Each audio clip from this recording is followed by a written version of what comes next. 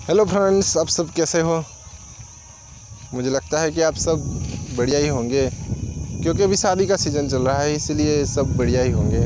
अभी मैं एक शादी में ही आया हूँ, हमारे गाँव से पंद्रह किलोमीटर दूर हूँ, और यहाँ इतना सूखा है कि आपको मैं बता नहीं सकता। आप देख सकते हो।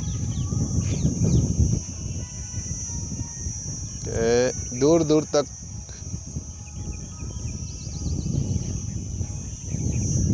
दूर दूर तक आपको सूखा ही दिखाई देगा। देखो, चारों तरफ़ में आपको दिखाना है। यह सब सूखा है। पीने के लिए भी पानी नहीं मिल रहा है। गाँव वालों को दूर से पानी लाना पड़ता है।